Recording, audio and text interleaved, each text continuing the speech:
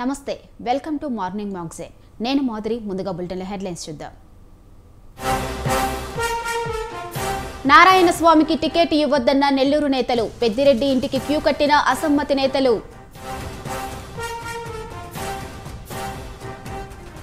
విద్యాశాఖపై CM Revanth Reddy సమీక్ష DSC నిర్వహణకు ఏర్పాట్లు చేయాలని ఆదేశం.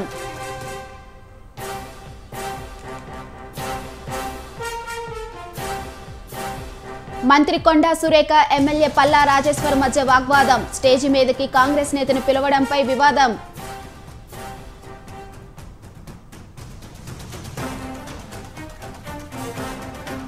న్యూ ఇయర్ వేడుకలు సిద్ధమవుతున్న హైదరాబాద్. పలు ప్రాంతంలో పోలీసుల ఆంక్షలు.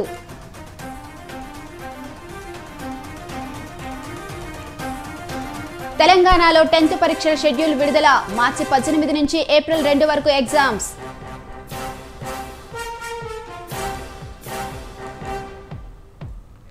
తిరుపతి జిల్లా పాపానాయుడుపేటలో దొంగల బీభత్సం. తుపాకులు కత్తులతో చెరబడ్డ ముఠా.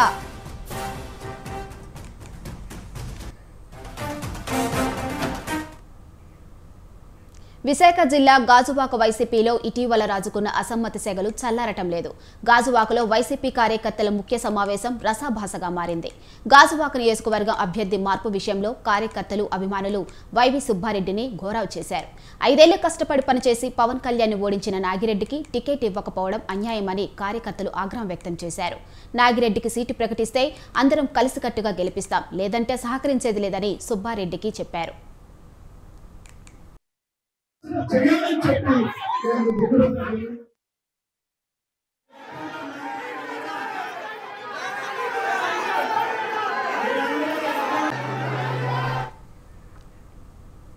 ఎమ్మెల్యే తిప్పల నాగిరెడ్డి అధ్యక్షతన నియోజకవర్గ సమన్వయ సమావేశం ఏర్పాటు చేశారు. ముఖ్య అతిథిగా పార్టీ ఉత్తరాంధ్ర సమన్వయకర్త వైవి సుబ్బారెడ్డి హాజరై మాట్లాడారు.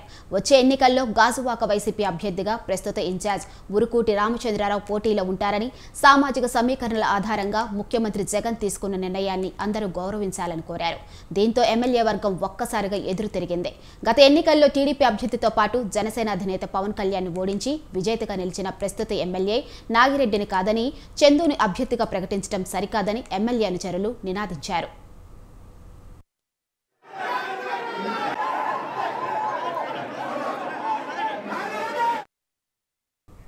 సీఎం జగన్ ఆదేశాలతో సర్వేల ఆధారంగా సామాజిక వర్గాల సమీకరణలతో బీసీకి గాజువాక సీటు ఇచ్చినట్లు సుబ్బారెడ్డి తెలిపారు. ఊరుకుట్టి చెందుకు సహకరించి గెలిపించాలని జగన్ను సీఎం చేయాలని పిలుపునిచ్చారు. నాగిరెడ్డికి మండలిలో ఛాన్స్ ఇస్తామని జగన్ చెప్పారన్నారు.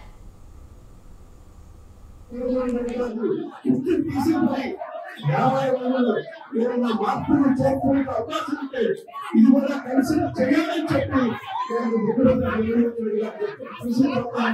అప్పటి వరకు సూచించిన అభ్యర్థి గెలుపు కోసం నాయకుల నాయకత్వంలో పనిచేసే కార్యక్రమం చేయాలని చెప్పి ఈ సందర్భంగా తెలియజేస్తున్నాను.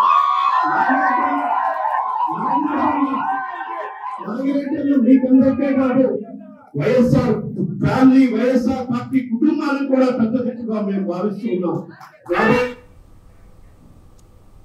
ఇక ఇదే అంశంపై మరింత సమాచారం మా ప్రతినిధి ప్రదీప్ ఫోన్లో అందిస్తారు. Pradeep. Yeah thank you Madhuri. అయితే విశాఖ గాజువాకలో అయితే సొంత వైసీపీ నాయకులకే రసాబసాగా సొంత పార్టీలోనే వరగపూర్ అనేది చాలా ఎక్కువైపోయే పరిస్థితి కనబడుతుంది. మొత్తానికి ఏదైతే విశాఖపట్నం గాజువాక ఎమ్మెల్యే తిప్పల నాగిరెడ్డి గతంలో రెండు వేల పంతొమ్మిదిలో జనసేన అధ్యక్షుడు పవన్ కళ్యాణ్ని ఓటమికి రుచి చూపించినట్టు కూడా ఆ పవన్ కళ్యాణ్ పైన గెలడం అయితే జరిగింది. ఏదైతే ఈ యొక్క నాగిరెడ్డి నాగిరెడ్డి ఏదైతే రెండు వేల పంతొమ్మిది నుంచి చాలా వరకు పవన్ కళ్యాణ్ మీద చాలా గట్టి పోటీ ఇచ్చి పవన్ కళ్యాణ్ ఓటమి చేశారో అట్లాంటి నాగిరెడ్డికి అయితే రెండు వేల ఇరవై నాలుగులో సీట్ లేదంటూ కూడా తెలుస్తుంది. మొత్తానికి ఏదైతే ఈ యొక్క సొంత విశాఖపట్నం ఇన్ఛార్జ్ వైవి సుబ్బారెడ్డి అయితే నిన్న సాయం నిన్న తెల్లారి ఏదైతే ఈ యొక్క గాజువాకలో జరిగిన సమావేశంలో ఉరుకు చందుకి మీ అందరూ సహకరించాలి ఉరుకు చందుకి రెండు వేల ఇరవై నాలుగులోనే సీటు వస్తుంది. మీ అందరూ దగ్గరుండి గెలిపించాలి అనే మాటకైతే నాగిరెడ్డి వర్గం అయితే ఒకేసారి నాగిరెడ్డి వర్గం అయితే ఒకేసారి కూడా వైవి సుబ్బారెడ్డికి ఒకేసారి షాక్ అయితే ఇవ్వడం జరిగింది. మేము మా యొక్క నాయకుడికే మీరు సీట్ ఇవ్వాలి కానీ మధ్యలో ఎవరెవరికి ఇస్తే మేము ఊరుకోము మేము సాయం మేము ఎటువంటి పరంగా రెండు వేల ఇరవై నాలుగులోని ఎవరికి సహకరించి పోవమని చెప్పి కూడా తేల్చి చెప్పిస్తున్నట్టు కూడా తెలుస్తుంది. మొత్తానికి వైవి సుబ్బారెడ్డి అయితే ఒకేసారి ఆ యొక్క మాటలకైతే షాక్ అవడం జరిగింది. వైవి సుబ్బారెడ్డి కూడా ఏదైతే తెలియజేశారో జగన్మోహన్ రెడ్డి ఆదేశాల మేరకు ఏదైతే సర్వే రిపోర్ట్స్ ప్రకారంగానే ఈ యొక్క సీట్లు అయితే ఇవ్వడం అయితే జరుగుతుంది. జగన్మోహన్ రెడ్డిని సీఎం చేయాలి మీరు చంద్రుని కూడా రెండు వేల ఇరవై నాలుగులో గాజువాకలోని ఎమ్మెల్యేగా అయ్యేలాగా మీరు సహకరించాలి అంటూ కూడా వైవి సుబ్బారెడ్డి అయితే తేల్చి తెలిసింది. అయితే మొత్తానికి నాయకులు అయితే చాలా వరకు గాజువాకుల నాయకులు కూడా కార్యకర్తలు కూడా మొత్తానికి ఏదైతే తుప్పల నాగిరెడ్డి చాలా వరకు ఎంతవరకు కష్టపడ్డారో మాకు తెలుసు. ఆయన ఆయనకి ఇవ్వకంటేనా వేరే వాళ్ళకి ఇస్తారంటే ఊరుకునేది లేదంటూ కూడా గాజువాకలో అయితే సొంత వైసీపీలోనే చాలా ఈ యొక్క గొడవలు అనేది చాలా ఈ- ఈ మధ్యకాలంలో ఎక్కువైపోయిన నేపథ్యం అయితే కనబడుతుంది. అలాగే విశాఖలోని ఈ యొక్క మధ్యకాలంలో వైసీపీ నాయకులే సొంత వైసీపీ నాయకులే వాళ్ళకి పార్టీలోని ఎటువంటి న్యాయం జరగలేదు. వాళ్ళకి కొంతమంది వ్యక్తుల వల్ల చాలా వరకు ఇబ్బందులు పడ్డం అంటూ కూడా నాయకులు ఏదైతే వంశకృష్ణ యాదవ్ గాని అలాగే బ్రాహ్మణ్ కార్పొరేషన్ చైర్మన్ ఆ, సుధాకర్ కూడా గతంలో అయితే పార్టీలకు రిజర్వ్ చేసి ఇతర పార్టీల్లోకి వెళ్ళడం అయితే జరిగింది. ఇదే నేపథ్యంలో మళ్ళీ గాజువాకలోని తిప్పల నాగిరెడ్డికి ఎటువంటి పరంగా సీట్ ఇవ్వకుండా కూడా సొంత యొక్క నియోజకవర్గంలోనే నిన్న ఏదైతే జరిగిన సమావేశంలో ఆయనకి చాలా వరకు ఈ యొక్క ఆయన పరుగు పోయేలాగా కూడా ప్రవర్తించినట్టు కూడా తెలుస్తుంది. మొత్తానికి ఏదైతే వైవి సుబ్బారెడ్డి అయితే దీని ఈ విషయంలో చాలా చాలా దీక్షగా కూడా తేల్చి చెప్పిస్తున్నట్టు తెలుస్తుంది. ఎవరు ఏం చేసినా సరే జగన్మోహన్ రెడ్డి అనుకున్నది కన్ఫర్మ్గా చేస్తారు. సర్వే రిపోర్టుల ప్రకారంగా ఎవరికి ప్రజల్లో ఆదరణ ఉన్నది ఎవరికి నెక్స్ట్ సీట్ గెలిచే అవకాశం ఉన్నది అవన్నీ చూసే వైఎస్ జగన్మోహన్ రెడ్డి మన నాయకుడు ఇచ్చాడంటూ కూడా వైవి సుబ్బారెడ్డి అయితే గాజువాక కార్యకర్తలకు కానీ వైసీపీ వర్గ వైసీపీ ఏదైతే వైసీపీ క్యాడర్కి అయితే చెప్పడం జరిగింది. మొత్తానికి ఉరుకుట్ చందు అలాగే తిప్పల నాగిరెడ్డి. ఈ రెండు వర్గాల మధ్యన అయితే గతం నుంచి కూడా చాలా ఈ యొక్క ఇష్యూ అనేది చాలా ఎక్కువగా జరుగుతుంది.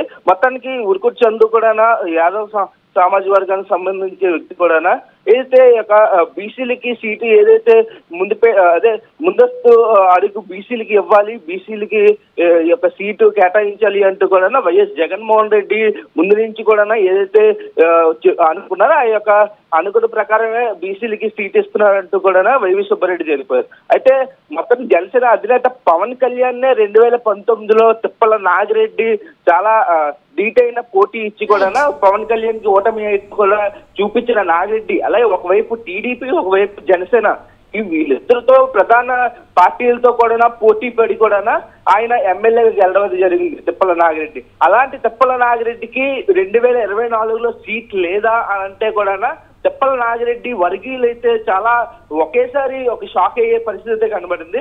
అది ఏ ఏనప్పటికీ కూడా విశాఖపట్నంలో వరుసగా ఈ యొక్క వైసీపీ క్యాడర్ అనేది నెమ్మది నెమ్మదిగా కన్నీరు ఒకేసారి ఒక కన్నుముల్లే ఒక కనుమరుగైపోయేలాగా కనబడుతుంది. మొత్తానికి ఏదైతే ఈ యొక్క విశాఖపట్నంలో గతం గతం నుంచి కూడా ఏదైతే ఈ యొక్క సీట్లు ఈ గందరగోళం ఏదైతే ఉందో ఈ గందరగోళంలో నెమ్మదిగా ఒకేసారి వైవి సుబ్బారెడ్డి క్లారిటీ ఇచ్చినట్టు కూడా తెలుస్తుంది. అట్లాగే హిందుస్థి అదీప్ రాజ్ పై కూడా జగన్మోహన్ రెడ్డి కూడా తెలియజేశారు. ఈసారి సీటు కూడా ఉండదు అంటూ కూడా ఏదైతే తెలియజేస్తున్న నేపథ్యంలో కొంతమందికి ఉత్తరాంధ్రలోనే కొంతమందికి అయితే రెండు వేల ఇరవై నాలుగులో సీట్లు ఉండకపోవచ్చు. అయితే వీళ్ళందరూ ఎటువంటి పరంగా కూడా పార్టీలు మారే అవకాశం ఉందా? లేకపోతే పార్టీల్లోనే ఉండి ఈ వైసీపీకి మళ్ళీ నా ఈ యొక్క జగన్మోహన్ రెడ్డికి మళ్ళీ సీఎం చేయడానికి వీళ్ళందరూ సహ సహకరిస్తారా అంటూ కూడా తెలియాల్సింది. మొత్తానికి right thank you Pradeep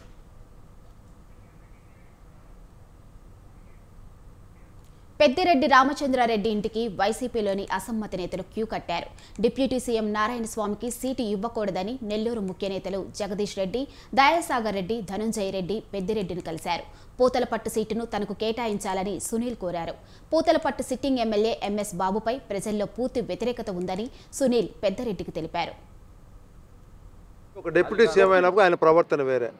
complete ఆయన అది ఒక ఒక ఉండరా అవన్నీ పనికిరా అనమాట ఇప్పుడు ఆయన ప్రవర్తన డి డిప్యూటీ సీఎం అవుతానే ఎంతసేపు ఏమంటే ఏదైనా సమస్య ఎవరిని ఎత్తుకోబోతే సామాన్య క్యాడరు సామాన్య ప్రజలు నన్ను చూసి ఓటేలేదు యా మీరు జగన్మోహన్ రెడ్డి చూసి ఓటే ఉండి అని గెట్ అవుట్ అని బయట పోవడం ఆ, నువ్వు ఆ గ్రూప్ అనడం ఈ గ్రూప్ అనడం ఏంది ఇది? ఇప్పుడు కంచుకో కంచుకోట ఇది. ఇప్పుడు ఎట్లా కంచుకోట లాంటి నియోజకవర్గాన్ని ఈరోజు ఆయన నాశనం చేసేసి ఈరోజు ఆయన ఇప్పుడు ఆయన ప్రతి ఊర్లో ఆయనకి కూడా భజన పరులు ఉంటాడు. వాడిని దగ్గర చేర్చేది. సార్ గారికి అన్నీ చెప్పినాము. స్వామి గారికి అన్నీ చెప్పినాము. స్వామి గారికి అన్ని సిద్దిపేట హరిత హోటల్లో మంత్రి కొండా సురేఖ జనగాం ఎమ్మెల్యే పల్లా రెడ్డి మధ్య వాగ్వాదం చోటు చేసుకుంది. శ్రీ కొమరవెల్లి మల్లికార్జున స్వామి దేవస్థానం సమీక్ష సమావేశం నుంచి ఎమ్మెల్యే పల్లా రెడ్డి బహిష్కరించి వెళ్ళిపోయారు. కాంగ్రెస్ నేత కొమ్మూరు ప్రతాప్ రెడ్డిని స్టేజ్ మీదకు పిలవడంతో ఇద్దరి మధ్య వాగ్వాదం మొదలైంది.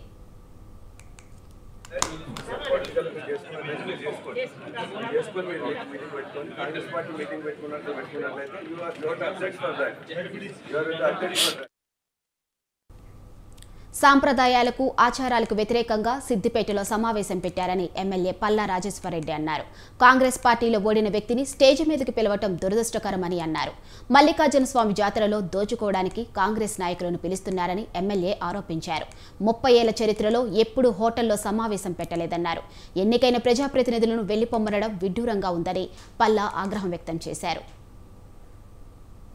కమిటీ కొత్తగా వేసుకున్నా పాత కమిటీ ఉన్నా కూడా అక్కడుండే సర్పంచ్ గారిని కుమరవెల్లి సర్పంచ్ గారిని కుమరవెల్లి ఎంపీపీ గారిని కుమరవెల్లి జెడ్పీడీసీ గారిని వీళ్ళందరినీ పిలిచి వాళ్ళ సన్నిధి వాళ్ళందరినీ కూడా ఇన్వాల్వ్ చేసి గొప్పగా జాతర చేసేవాళ్ళు. ఇవాళ కాంగ్రెస్ పార్టీ అధికారంలోకి వచ్చిన తర్వాత అక్కడున్న ఎమ్మెల్యే గాని అక్కడున్న సర్పంచ్ ఎంపీపీ జెడ్పీటీసీ అక్కడున్న వార్డు సభ్యులు వీళ్ళందరినీ వదిలిపెట్టేసి ఒక కమర్షియల్ ప్లేస్లో ఇక్కడ మీటింగ్ పెట్టడం సాంప్రదాయాలకు విరుద్ధం ఆచారాలకు విరుద్ధం.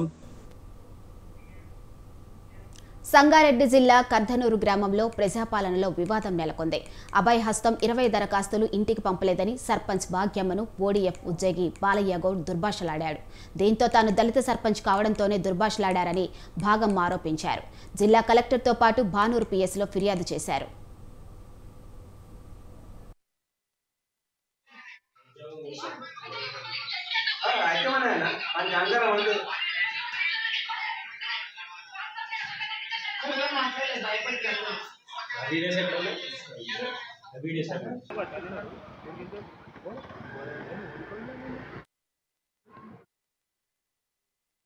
మాజీ సర్పంచ్ మాధవి ఆ, భర్త గారు అయినటువంటి బాలయ్య గౌడ్ గారు ఒక ఓడిఎఫ్ ఎంప్లాయీ వార్డు మెంబర్లు అందరు కూర్చొని కౌంటర్ కౌంటర్ కాడ డ్వాక్రా మహిళలు అంగన్వాడీ మహిళలను కూర్చోబెట్టి మనం నింపిస్తున్నాము నువ్వు రేషన్ షాప్ కాడ ఎందుకు నింపుతున్నావన్నా? నువ్వు కూడా వచ్చి ఇక్కడ నింపితే అయిపోతుంది కదా. ఇరవై అప్లికేషన్లు ఎందుకు అడిగినావు? అప్లికేషన్లు ఇవ్వట్లేదు అని ఫోన్ చేసిన. వీళ్ళు అక్కడ పోతుంటే నలుగురు చూసినాక ఫోన్ చేసిరు అక్కడ ఎందుకు నింపుతున్నావన్నా? వచ్చి ఇక్కడ కౌంటర్ దగ్గర కూర్చొని నింపొచ్చు కదంటే. ఏం మాట్లాడుతున్నావు? నేను దొంగతనం చేస్తున్నా. నా రేషన్ షాప్లో కూర్చొని నా దగ్గరికి చదువు రానాళ్ళు వస్తే నేను సాయం చేస్తున్నా. నువ్వు నాకు ఎట్లా ఫోన్ చేసినావు నువ్వు అని అన్నాడు. అన్న నేను దాన్ని తప్పు పట్టలేను ఇరవై అప్లికేషన్లు అయితే పంపడం కుదరదని చెప్పి నేను ఫోన్ పెట్టేసిన. ఒక మనిషికి ఇప్పుడు నేను ఫోన్ చేయడము నాకు దమ్ ఎందుకన్నా? అంటే నేను దళితమైన నన్ను నాకు గుర్తు చేసిండా? నన్ను తిట్టాల్సిన అవసరం ఏముంది? రెండు నెలలు అయితే నీ పదవి కాలం అయిపోతుందని నన్ను ముందే హెచ్చరిస్తా తెలంగాణలో పదో తరగతి పరీక్షల షెడ్యూల్ విడుదలైంది. మార్చి పద్దెనిమిది నుంచి ఏప్రిల్ రెండు వరకు పదో తరగతి పరీక్షలు జరగనున్నాయి. ప్రతిరోజు ఉదయం తొమ్మిది గంటల ముప్పై నిమిషాల నుంచి మధ్యాహ్నం పన్నెండు గంటల ముప్పై నిమిషాల వరకు పరీక్షలు ఉంటాయి. పద్దెనిమిదిన ఫస్ట్ లాంగ్వేజ్ పంతొమ్మిదిన సెకండ్ లాంగ్వేజ్ ఇరవై ఒకటిన ఆంగ్లం ఇరవై మూడున గణితం పరీక్షలు నిర్వహించనున్నారు. ఇరవై ఆరున సైన్స్ మొదటి పేపర్ ఇరవై ఎనిమిదిన సైన్స్ రెండవ పేపర్ ముప్పైన సోషల్ స్టడీస్ ఏప్రిల్ ఒకటి రెండున వొకేషనల్ కోర్సుల పరీక్షలు ఉంటాయి.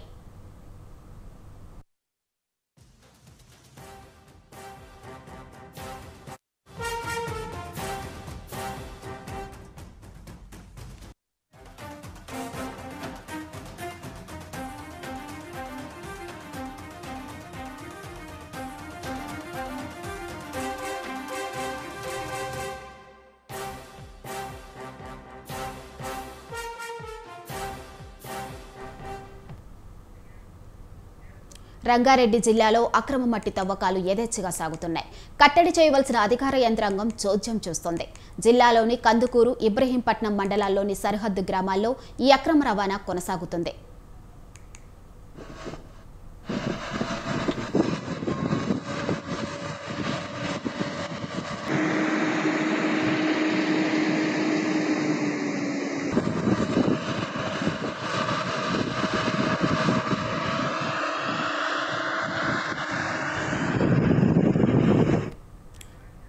నిత్యం వంద నుంచి రెండు వందల వరకు వాహనాల ద్వారా మట్టి తరలిపోతుందని ఆయా గ్రామాల ప్రజలు ఆరోపిస్తున్నారు. పగలు రాత్రి అనే తేడా లేకుండా ప్రొక్లైనర్స్ జేసీపీలతో మట్టి తవ్వేస్తున్నారు. ఓవర్లోడ్స్తో అతివేగంగా వెళ్తున్న వాహనాలతో ప్రమాదాలు జరుగుతాయంటున్నారు స్థానికులు. ప్రభుత్వ ఆదాయానికి గండి కొడుతున్న మట్టి అక్రమాలపై ప్రభుత్వం చర్యలు తీసుకోవాలని కోరుతున్నారు.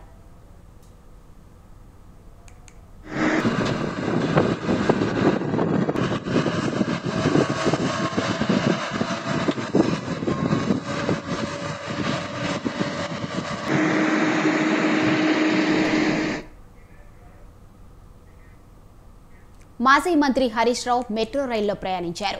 ఎల్బీ నగర్ నుంచి లక్డీ కపుల్ వరకు ప్రయాణం చేశారు. మెట్రోలో ప్రయాణించి సరదాగా ప్రయాణికులతో ముచ్చటించారు. నాగోల్ శిల్పారామం కార్యక్రమంలో పాల్గొని దాదాపు అదే సమయంలో రవీంద్ర భారతిలో నిర్వహించే ఆట కార్యక్రమానికి రావడానికి ఆలస్యమవుతూ ఉండటంతో హరీష్ రావు మెట్రోలో ప్రయాణించారు.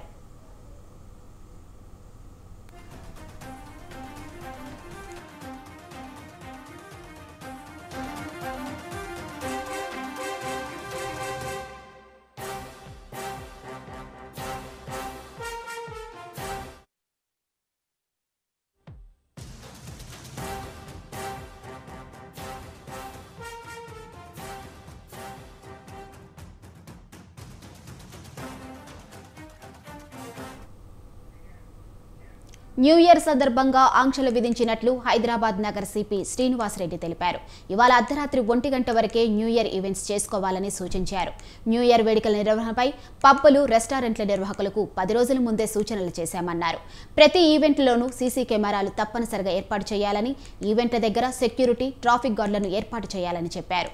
పబ్బుల్లో డాన్సర్లతో కార్యక్రమంపై నిషేధం విధించినట్లు చెప్పారు సిపి శ్రీనివాసరెడ్డి వేడుకలు రేపు ప్రారంభమవుతున్నాయి. యువతి యువకులకు నా సందేశం ఏంటంటే మీరు కొత్త సంవత్సరాన్ని ఉత్సాహంగా ఆనందంగా ఆహ్లాదంగా ఆహ్వానించండి.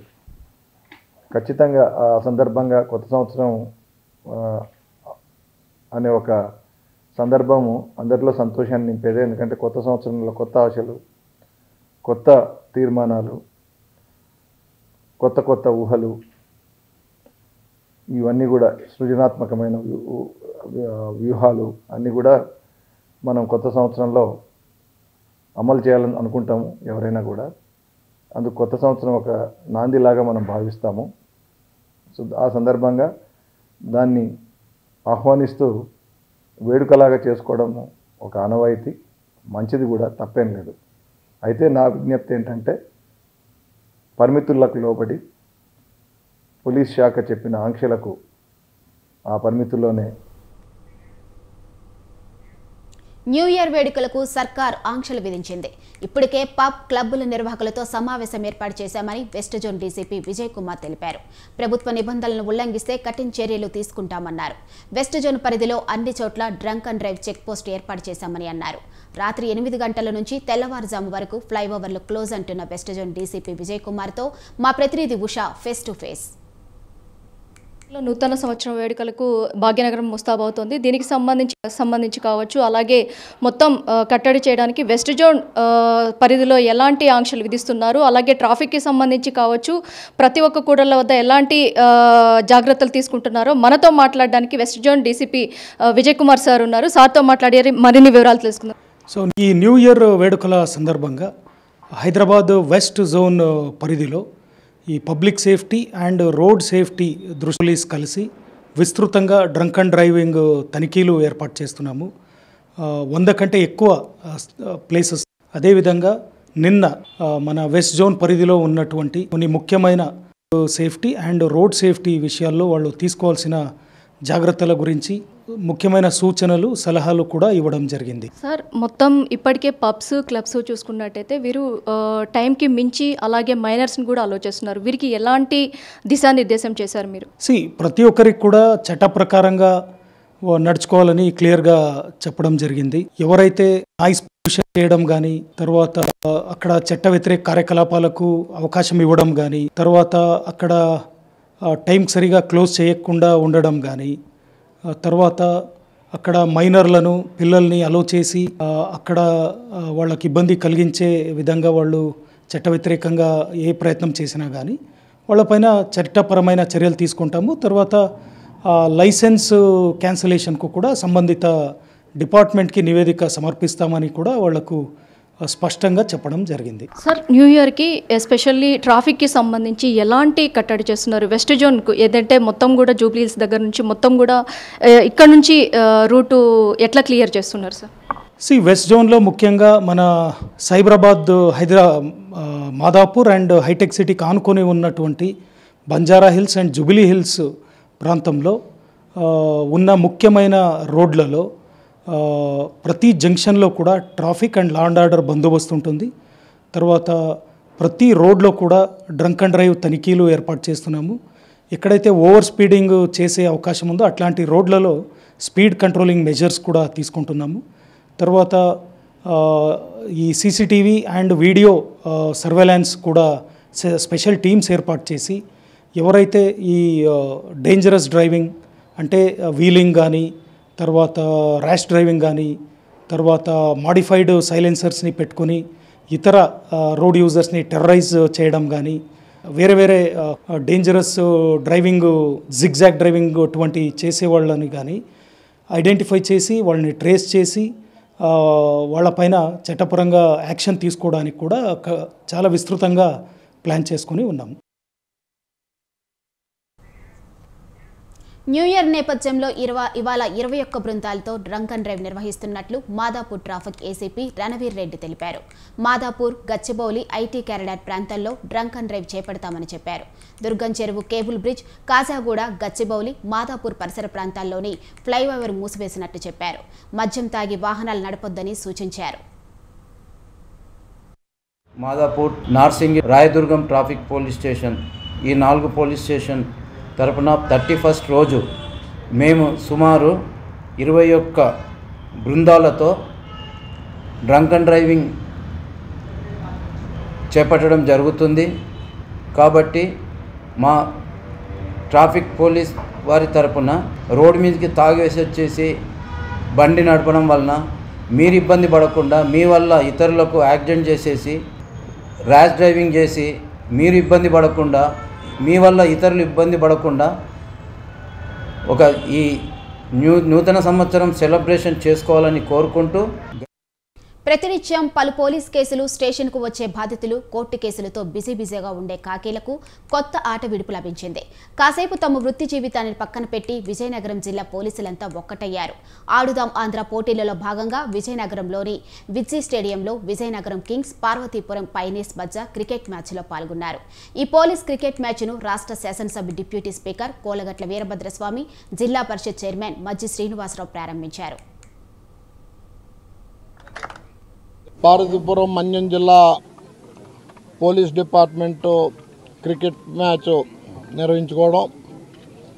మరి ఇద్దరు రెండు జిల్లాల ఎస్పీలో క్యాప్టెన్సీతో ఈ రెండు టీములు ఈరోజు పోటీ పడుతున్న సందర్భంలో సోదరులు జిల్లా పరిషత్ చైర్మన్ చంద్రసేని గారు నేను ఇతర పెద్దలు ఈ ప్రారంభోత్సవ కార్యక్రమంలో పాల్గొనడం జరిగింది.